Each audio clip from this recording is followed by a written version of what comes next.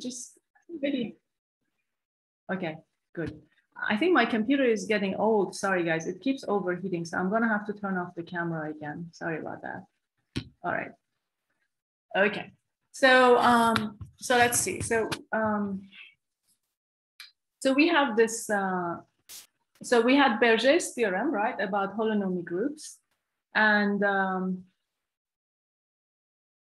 and so Barbara asked me about this uh, case five, right? Case number five at the bottom of the page. You know, how, what is this group? You know, SPR times SP1. All right, so let me just explain that a little bit better here. Um, right.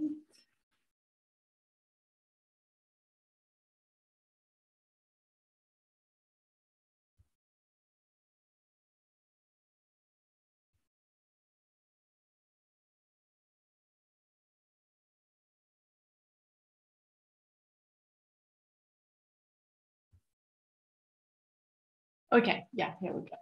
So let I, need, I think I need a new page. So let me go and explain this in a new page. So what is the, um, so this is just an aside. Um, so, um, right, so SP, so what did we have? So we have that SPR, we said it's contained in the automorphisms of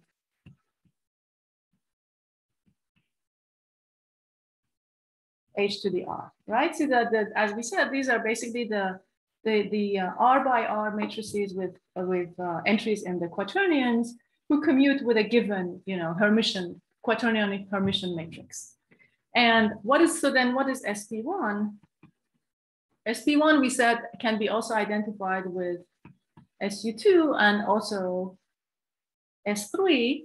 This naturally lives inside H itself, right? So this is the group of unit length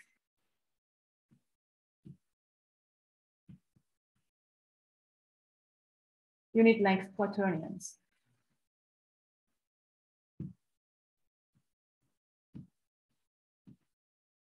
All right.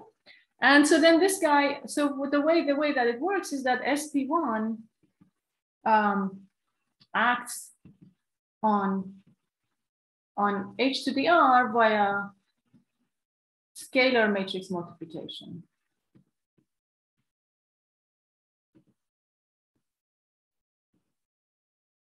So we so so that's so that's then so then when we write SPR times SP1, this is this is really the subgroup. This is the group generated. So the subgroup of the automorphism groups, right? Of HR generated by these two actions. So generated by the actions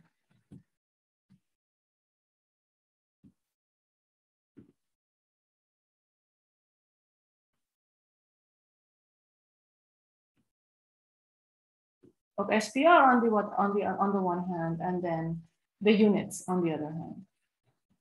All right. So so they do not. I mean, these two SP1 and SPR do not commute, right? But you just take the subgroup that the, that their actions generate inside the automorphism group, and I guess the notation is is is not very good, but um, it's the usual notation that people use. I know, but now it's much more clear. Thank you. Yeah. Yeah. Right. Okay. Great. Thanks yeah so it's not you know like i said they don't commute but they don't they both they both act and then you take the subgroup that the actions generate all right and yeah this is standard notation so you know i didn't feel like i could change the notation. It's not very good but okay. So um let's see. So now let's go back to where we were. Uh, we were talking um, so i wanted to give you guys examples of hyperkähler manifolds right? And we started with, um, with the case of dimension two. That's the smallest case, right? Because the dimension of a hyperkähler manifold has got to be at least, it has, it has got to have at least four real dimensions always, right? Um, so um, the smallest ones are uh, two-dimensional ones. And for surfaces, uh, as, I, as we said before, SP1 is equal to SU2, and SP1 is the hyperkähler case, but SU2 is the Calabi-Yau case. So what you get for surfaces is that being Calabi-Yau or being hyperkähler is the same thing. Um, and uh, the, the only surfaces that you get are K3 surfaces and complex tori. And I gave you the definition of a K3 surface. Uh, a K3 surface is, uh, we kind of, we're kind of, kind of going here with a minimalistic definition that this is the minimum that you need to define a K3 surface. Some people define a K3 surface as being simply connected, but I didn't do that here. I just said H1 of XOX is zero. And it's a compact complex surface with trivial canonical bundle. So omega 2x is isomorphic to OX and H1 of XOX is zero. And then everything else you can deduce from this. You can prove that H1 of XOX equal to zero actually implies that it's simply connected. You can also prove that the integral cohomology of the K3 surface is torsion free. And you can also prove that they're all Kähler, in fact. We didn't assume that, that, it, that this thing is Kähler, but you can prove that it is Kähler. That is a hard theorem. And uh, they, have, they have unique Kähler metrics. Um, and uh, for complex tori, well, complex tori, I think uh, you guys know what they are because of, at least because of Angela's lectures. So uh, it's, uh, you know, C2 modulo a lattice. And um, so they are, they are not simply connected, obviously, but um, they are hyperkähler, right? They have a hyperkähler structure and the omega-2 is also trivial. Okay, and then I gave, I gave um, on the next page, we had um, uh, the simplest examples of K3 surfaces at the top of the page here. So you can take double covers of P2 branch along smooth sextics. These are actually algebraic K3 surfaces, right? So uh, non-algebraic K3 surfaces could be um, projective varieties or not. They could be just compact Kähler manifolds without having any kind of embedding into a projective space. So, um, but but there are a lot of them that are algebraic. You know, you, you get uh, codimension one families uh, of algebraic K3s. And these examples that I've got here are all algebraic ones. Double covers of P2 branched along smooth sextics, smooth quartics in P3, two, three complete intersections in P4, two, two, two complete intersections in P5. Right. And then the others, as I said, are a little bit more complicated. So um,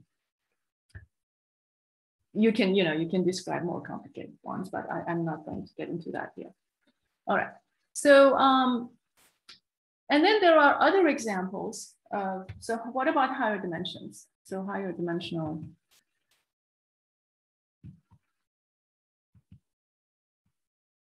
uh, compact hyperkählers.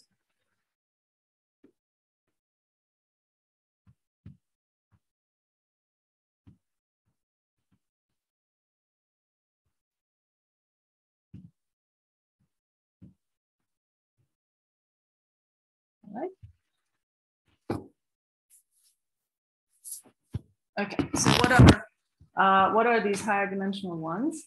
Um, uh, actually, sorry, let me, uh, my computer is still overheating. Let me try to do something about that. I'll be right back.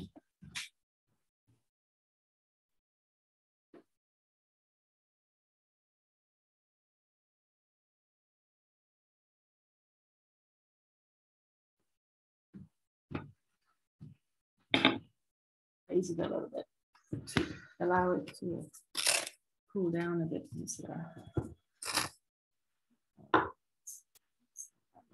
Okay, all right, that. So, okay, so uh, what about higher dimensional compact hyperkähler manifolds? So, I mean, the, the, let me also explain why I'm so, um, I'm insisting so much on these examples. Uh, the thing is that it's actually hard to um, write down examples of compact hyperkählers. Well, people know a lot of examples of non-compact hyperkählers, but uh, with compact ones, it's much, much harder. So the examples that I'm going to, I, I, can basically, today, basically, I can sort of tell you all of the examples of hyperkähler manifolds that people know about. And it's a big open problem, actually, to try and write down new examples, or maybe to show that there aren't any other examples. Maybe this is all there is, maybe, or maybe, maybe it isn't. I, you, nobody knows, right? Uh, I'm not sure anybody is even conjecturing anything about it at this point. Um, that people don't feel that they have enough information for, for to even make a conjecture. Okay, so um, so let me. So then, what are what are the examples that we already know? Uh, in in in dimension two, we know all of them, right? But in higher dimensions, uh, we basically can construct them using the two-dimensional cases. So uh, there are two infinite series of examples uh, which, which just use um, the surface case to produce higher dimensional compact hyperkähler. So, and the first construction involves taking Hilbert schemes of points. So that's number one. Actually, maybe I won't number it.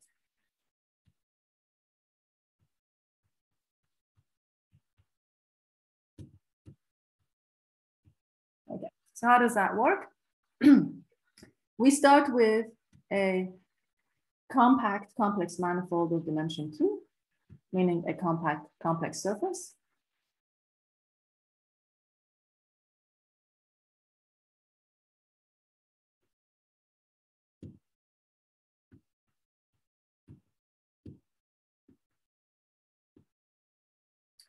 And we, I will denote S to the R, the Rth Cartesian power.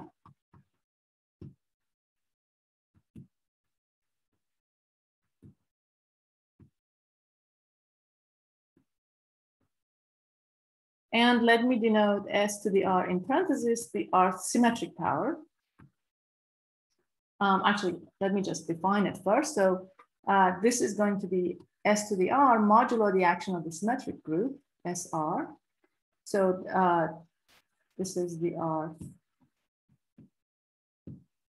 symmetric power.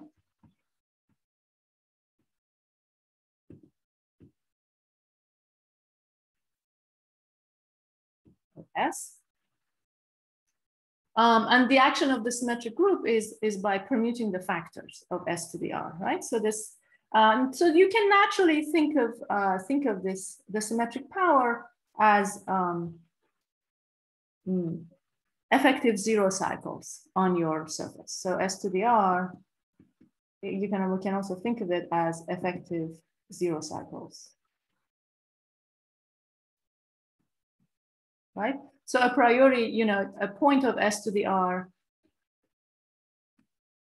of the Cartesian power will be, will have coordinates, right? X1, XR, xi and s.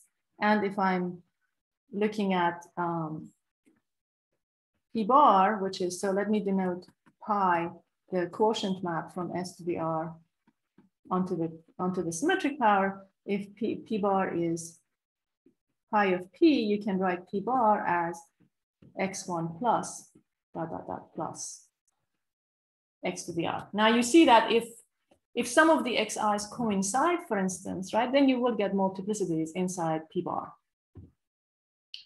All right. Okay, and I'm going to also introduce some more, some more notation that we call delta ij, the diagonal of the Cartesian power where the ith and the jth coordinates are equal, right? Um, and we know that the action of the symmetric group is not free on the diagonals, right?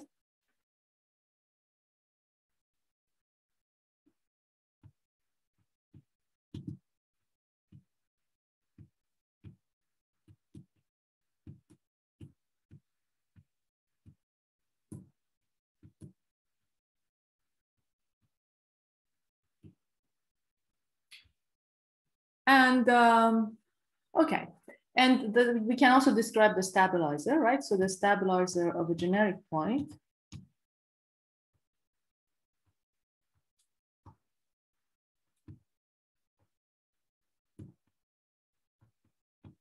of delta ij, it's just a transposition.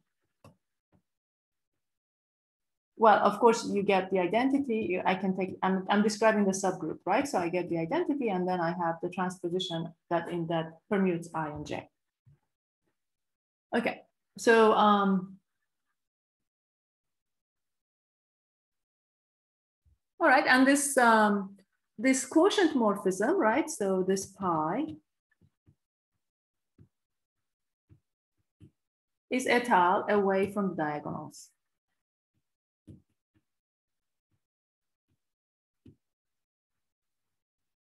From the union of all the diagonals.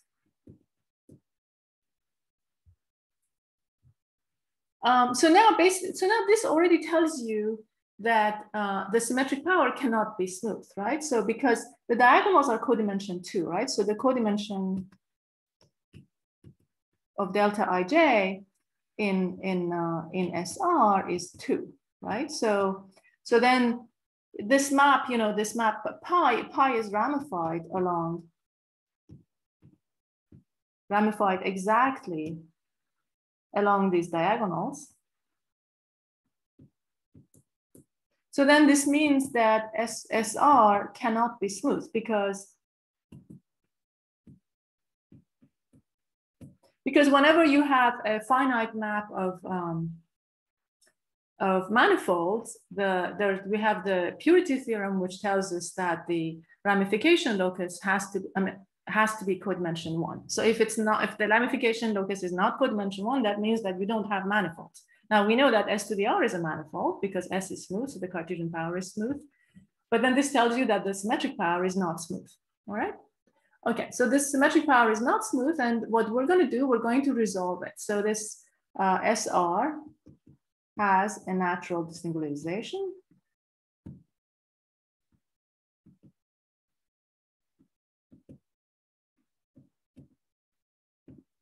And this is the Hilbert scheme. So this is the Hilbert scheme.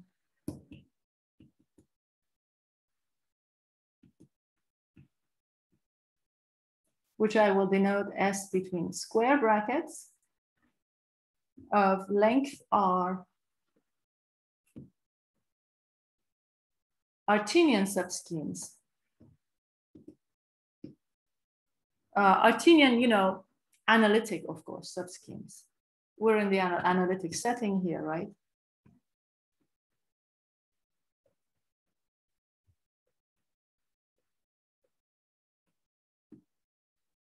of S. All right, and you have a you have a natural map from this Hilbert scheme to the symmetric power, which sends a subscheme Z to the underlying cycle.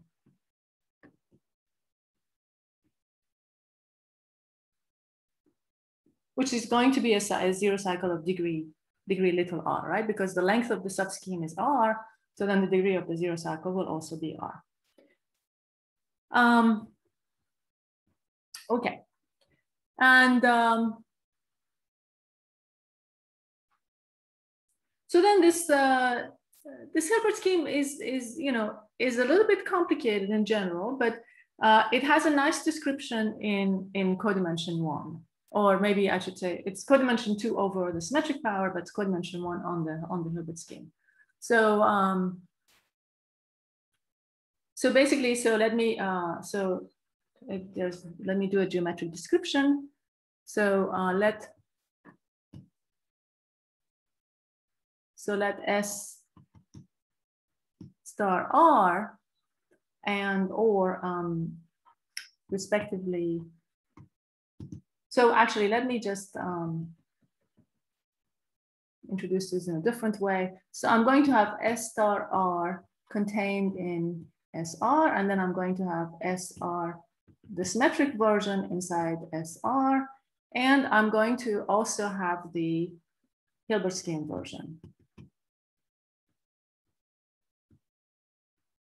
And in all of these cases, so this one, the first one, uh, this is going to be uh, the open set where at most two coordinates are equal.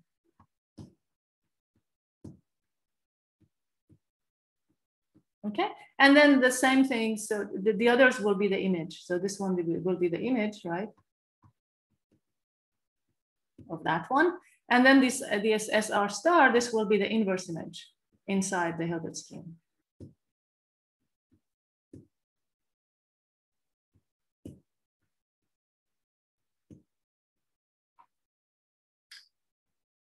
Okay. Um, so, so what if you what, what what's going on here? So if you have um, if you're given a cycle,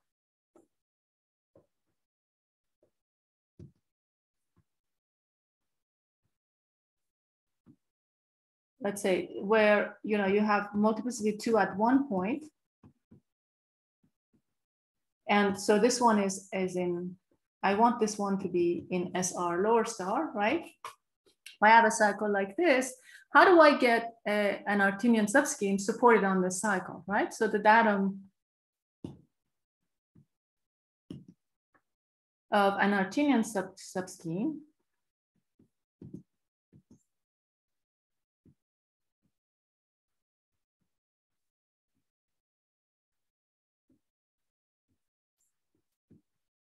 of length r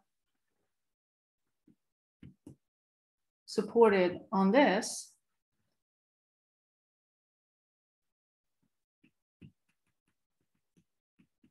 On, on this on this cycle is equivalent to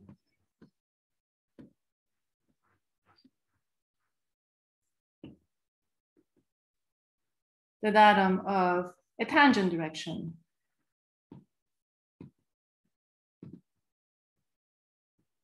to S at X1, right? So if I want to specify a subscheme, well, the subscheme is going to be reduced everywhere except at X1 because the, the, the, multiplicities are one elsewhere, right? So the only place where you have a multiplicity two is X1. And then to, to, to, this, to, to, you know, to, to specify the scheme structure, you just have to specify a tangent direction, right? So, so then there's the set of um, Artinian subschemes. Uh, so, so what does this mean? So the set of Artinian subschemes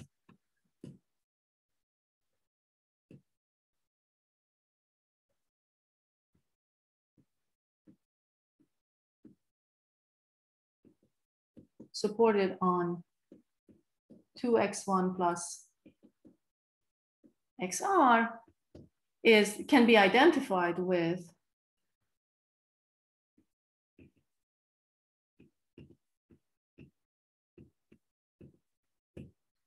the projectivization of the tangent space of S at x1. Okay, so if I specify a tangent direction, that's the same as uh, specifying a point of the projectivization of the tangent space. Okay, so then, you know, so then from this, uh, you will see that, you know, so the theorem that I'm going to state now will, will make sense. I'm not going to prove the theorem, but it's not very hard to prove if you keep this, this statement in mind, right? So the complex analytic pair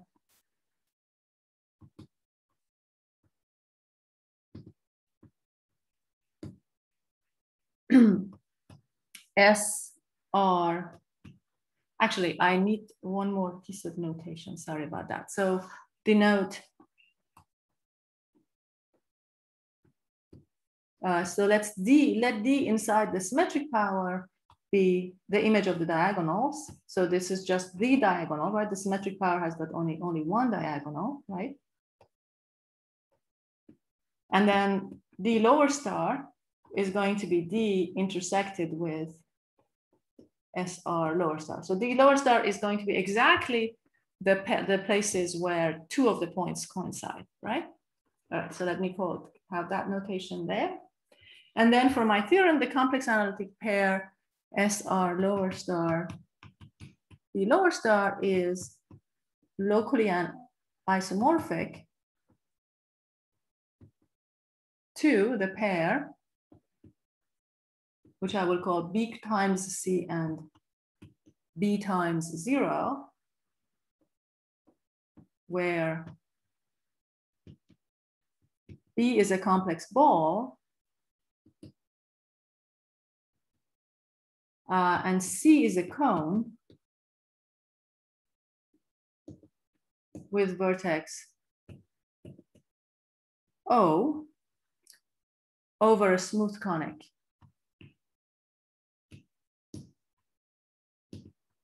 in P2. Okay, so this is this is a complete analytics uh, description of the uh, symmetric power, right? Well, away from the very bad points, right? These are at some bad points. Um, and uh, the Hilbert scheme, you can describe the Hilbert scheme as a complex manifold. This is the blow up along the lower star of the symmetric power. So if I remove the points where more than two coordinates coincide, then I can describe the Hilbert scheme as, as just a blowup of the symmetric power, which is, which is very nice, right? And then um, next, you can also, then you also have a commutative diagram, right? Uh, actually a pullback diagram.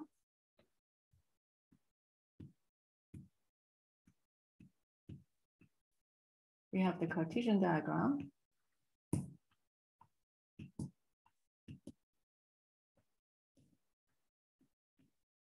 Like this, so you can, um, so you have the Cartesian power mapping down to the symmetric power. And then here we are, uh, we put the Hilbert scheme, which we said is the blow up along the lower star of the symmetric power.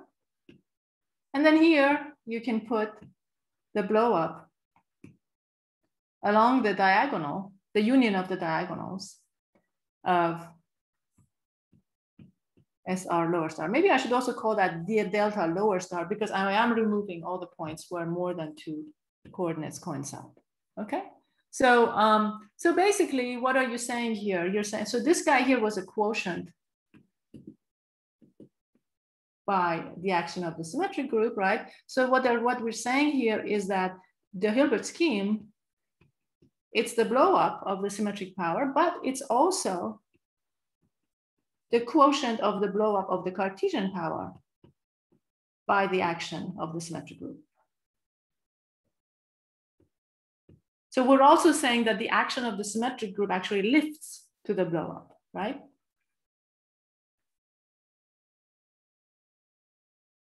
So the action of SR lifts to BL delta lower star of SR upper star, SR lower star, okay? So you have a very nice picture, right? Um, and then, you know, once you have, uh, once you have this picture like this, then you can uh, you can in fact you know we want to show what do we want to show? We want what in the end what we want to do we want to produce examples of hyperkähler manifolds. Or if you like examples of holomorphic symplectic manifolds which we saw are the same thing right? So uh, here we're going to produce an example using the holomorphic symplectic language rather than the hyperkähler language. So if we assume that S has got a symplectic form, right, meaning, meaning an everywhere non-degenerate holomorphic two form, then we can use this description, this diagram to produce a holomorphic form, a symplectic form on the Hilbert scheme. Okay, so here's how we're going to do that.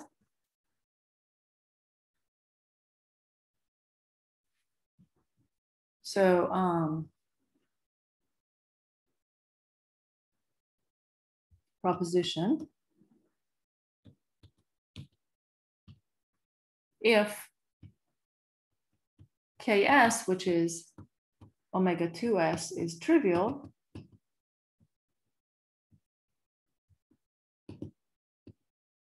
then uh, SR, the Hilbert scheme, admits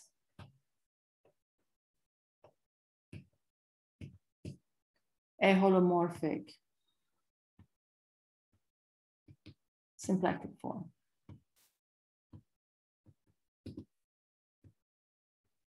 All right. And let me give you a sketch of proof, idea of proof.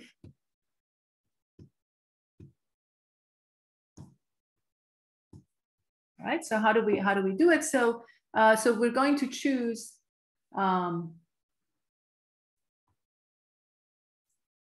a generator phi of um, or actually, let, no, let me call it omega. I'm used to calling it omega. I shouldn't change my notation. Omega of H0 of S Ks, right? Now this, this is um, holomorphic symplectic because Ks is trivial. So this guy doesn't vanish anywhere, right? So um, our form doesn't vanish anywhere. It's a holomorphic symplectic form. Then we're going to pull it back. So C is Let's pull back via the first projection. we're going to pull it back to the Cartesian power first. Okay, so I'm, I'm pulling back via the first projection to the Cartesian power and then doing it for all the other projections, PR are upper star of omega, right? Where PRI from SR to S is the ith projection, right? Um, okay, so then so now this is now a holomorphic two form on the Cartesian power, right? And um, and we we're going to pull it back. So if I if I go back to my uh, diagram here, let me give some names to these morphisms. So let me call eta this uh, blow up morphism here. Epsilon is this other blow up morphism. My quotient map was pi. And then let me call the other quotient map from the blow up of the Cartesian power to the blow up of the symmetric power. Let me call that rho, okay? So I took my form on S, I, I, I took an average, right? I, I pulled it back by the various projections to the Cartesian power, and then I took an average, right? Now I'm gonna pull it back to the blow up. So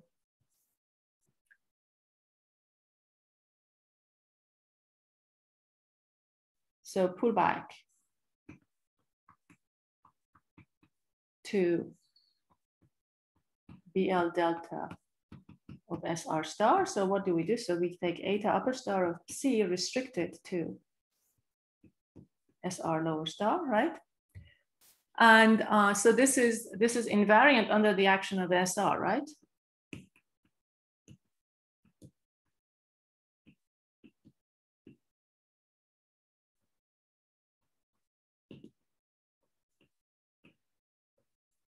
And so is psi itself, right? So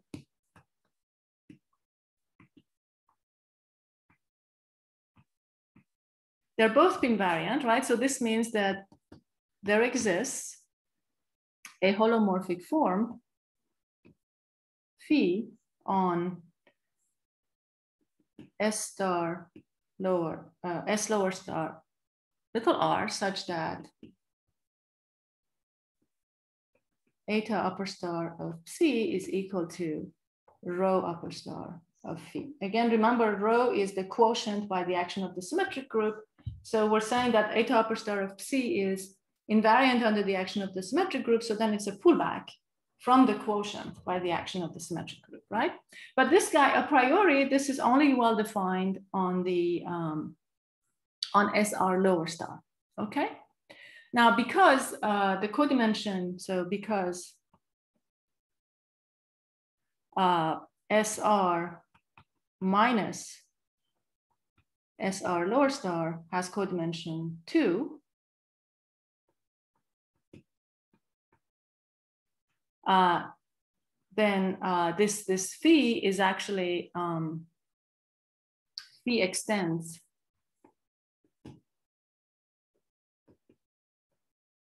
to all of the Hilbert scheme. Okay. All right, so you've got we've got our form. It's a it's a two form, right? It's holomorphic. Uh, now the only question is whether it is non-degenerate. Okay, so I'm not going to get too much into the details of why it's not non-degenerate. So need to show that this phi is not everywhere non-degenerate. Sorry. Yes. Mm -hmm. uh, what are eta and the rho in the previous page? Oh yeah, yeah, right, right. Uh, uh, let me uh, show you that. Oh, there it is. Okay. So yeah, so um, it, it's the the blow up diagram, right? So uh, eta was the quotient by the action. Oh, sorry, sorry, no, eta. Yeah, eta is the blow up map, right? For, on the Cartesian power. And rho is the quotient by the action of the symmetric group on the two blowups. That's what it is. Ah, okay. So you you use the same notation. Okay. Yeah, sorry. Yeah, I don't I didn't want to change notation because um it's uh it, gets kind of heavy, you know, if I if I just it, it, would be too much notation. So I'm I'm abusing the notation a little bit, right? I mean, I'm kind of uh so so here, you know, when I so here I really should write C again restricted to SR lower star, right? And the phi again is not a priori phi is only well defined on SR lower star, but I'm just saying I'm, I'm going to extend it. I can, I can extend it to all of SR and then I'm going to denote it with the same letter. So I'm not going to, uh, I'm not going to use a different letter, you know, to, to, to denote the extension, if that's okay. okay. Yeah. Thank you. Mm -hmm. Okay, so, um, all right. And uh, so we've got, okay, so we've got this holomorphic, um, it is a holomorphic form. It is a holomorphic two form, right? And we need to show that it's everywhere non-degenerate. The idea for doing that is to show that when we take the top exterior power, this wedge R of phi, we have to show that this guy does not vanish anywhere.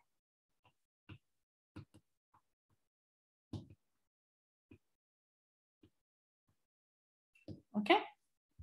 And in order to show that it doesn't vanish anywhere, uh, you need to do a little bit of analysis. Uh, I'm not going to really get into that, but uh, just let me give you the idea. The idea is show that it's divisor. So it is, this is a section of a line bundle now, right? I mean, uh, wedge R of phi is a section of a line bundle. And to show that it doesn't vanish anywhere, so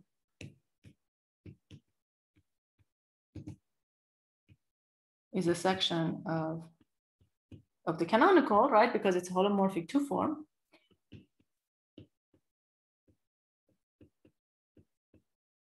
So um,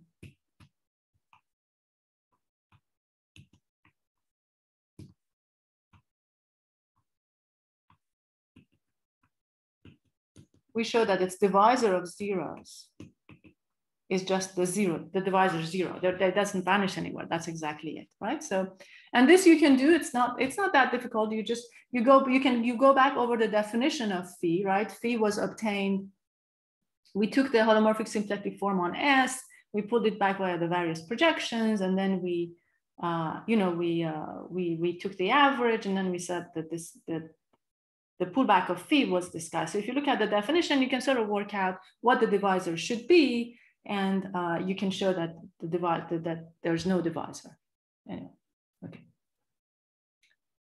So, I mean, if I have time, I can go back and, and, and do a little bit more details on this maybe today or something. But uh, for now, let me, let me go on with uh, the other stuff we need to do.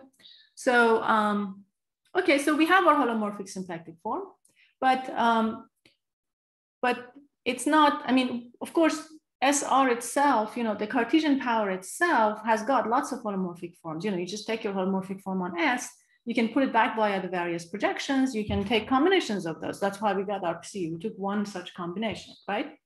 But um, what's interesting about the Hilbert scheme is actually that it's going to be irreducible holomorphic symplectic, right? So in fact,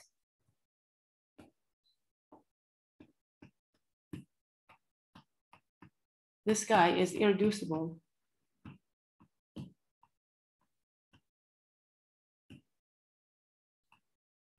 holomorphic symplectic.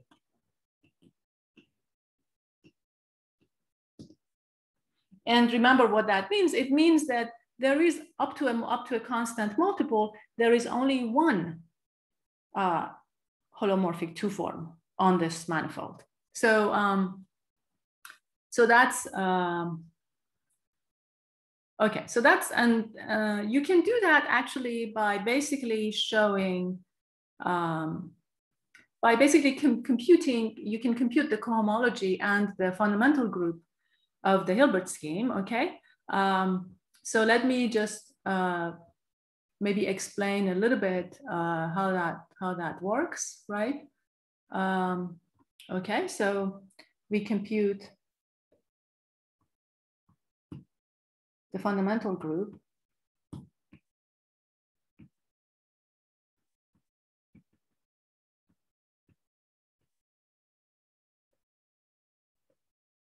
and and cohomology of SR. Oh, actually, it's irreducible if if S is K3. Okay, if S is if S is a, a complex torus of dimension two, it's actually not going to be irreducible. So we're going to have to do a little bit more work to get our holomorphic symplectic manifold. I mean, our irreducible holomorphic symplectic manifold. But Okay, so, but anyway, we can compute the fundamental group and the cohomology, right? Either way, just assuming that S is uh, holomorphic symplectic itself, right? Whether it's K3 or, or a complex torus. Um, so to do that, we're going to write, we're going to go back to our uh, blow up diagram again, right? So, um, and to our quotient by finite groups, right? This diagram here is, you know, the diagram that I had before. This Cartesian diagram is very important, right? This is how we're going to compute everything, basically, the cohomology, the, the fundamental group and everything. So um, the fact that we have quotients by, by the symmetric group, right, gives us um, these are quotients by the symmetric group, so they're Galois covers, right? So you get exact sequences of fundamental groups, right? So, so we have that SR to SR and also the blow-up map, BL delta of SR to the Hilbert scheme, actually lower star here, are Galois And both of them have Galois group SR, the symmetric group, right? SR. So that means that we have exact sequences of fundamental groups as follows. Um, I can I will go one, SR goes to pi one of BL delta of uh, sorry, SR star goes to pi one of the Hilbert scheme. Lower star goes to zero. And then here I have a map. I can I can map this to pi one of the symmetric power. Here I can put pi one of the Cartesian power. And here I can also put SR again. Okay. All right. And now these two are of course equal. And if I look at these pi ones in the middle here, what have I got? Well, uh, the pi one of the blow up, uh, well, the it's a pi one of the blow up along a codimension two space, right? So this is equal to pi one of SR lower star. And then again, because we're just removing the codimension two space, this, this is also equal to that. Okay. All right, so you have, uh, you have a commutative diagram of exact sequences. You have isomorphisms in the, two, in, in the middle and on the left. So this means that, you know, if you do a little diagram chase, what you get is that pi one of the Hilbert scheme lower star is isomorphic to pi one SR.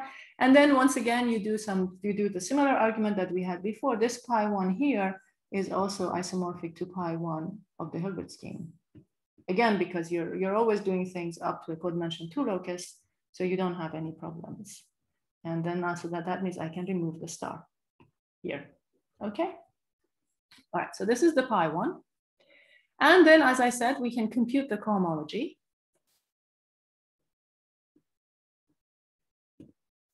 Going to be a little lemma here.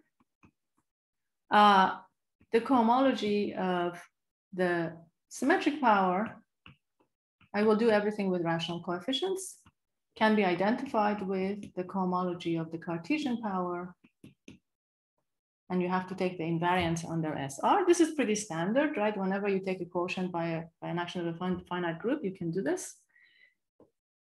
Number two, you can compute, now, now we're gonna compute the Hilbert scheme, okay? This was, was just for the symmetric power. The, the H2 of the Hilbert scheme with rational coefficients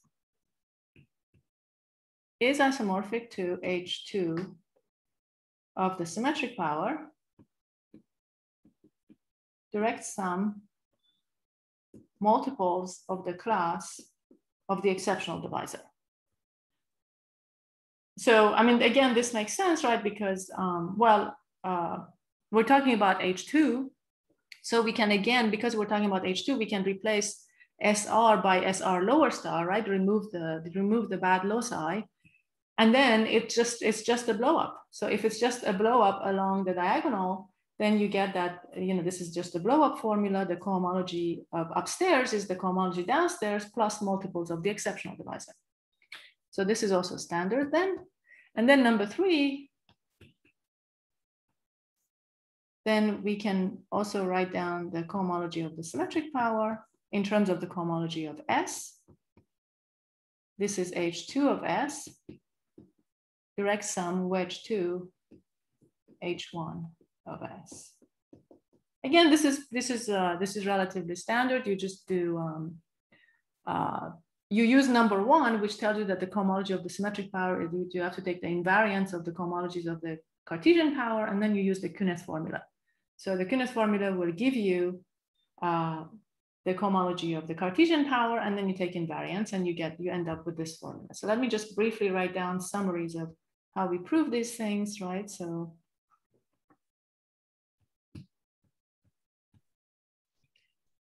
Um, remember you should take at some point the five minutes break. Um, oh, oh, sorry. Yes, uh, yes, you're right. Actually, it's exactly time for the five minute break. Yeah. So, um, but maybe let me just write down the the. Yeah, the, yeah, yeah. I was just the first one. Yeah. The first one, I guess I'm not telling you anything, I'm just telling you it's standard. Number two is the blow up formula.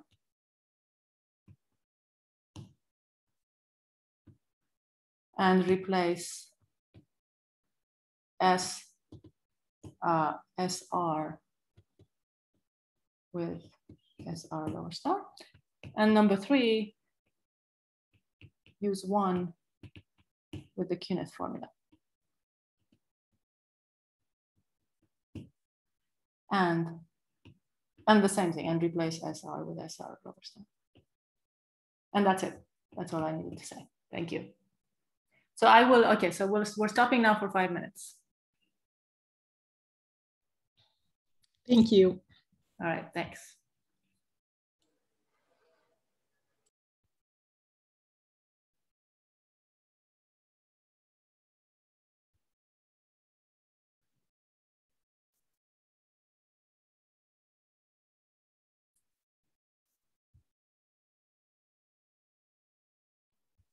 yeah, sorry for interrupting. I was just, I thought it was a good moment for a, a break. So, yeah, yeah, no, thanks. I mean, I, I, I was actually about to forget. and actually, I should say, I mean, I need, uh, I need to leave exactly at eleven thirty today, if that's okay. So, um, of course. I mean, yeah, okay, all right.